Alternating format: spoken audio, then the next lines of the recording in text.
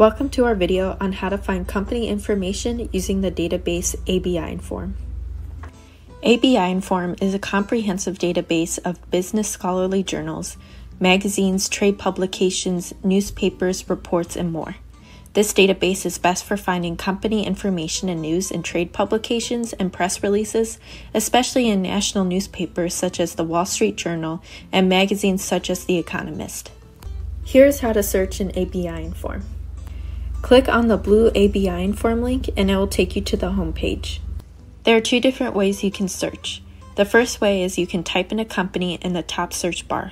For example, I will use Boeing, a public company. Type in Boeing into the search bar and any other search terms you want to include.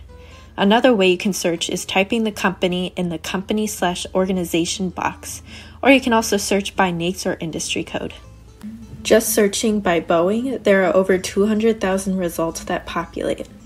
To limit the results, on the left hand side, you can select the publication date the document type, such as scholarly journals or newspapers, and you can also adjust the location to the companies just in the United States. When you click on an article, at the top you will see a tab that says Full Text and Details.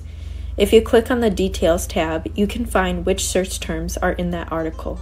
You can click on the words that are highlighted in blue to find more articles relating to that term.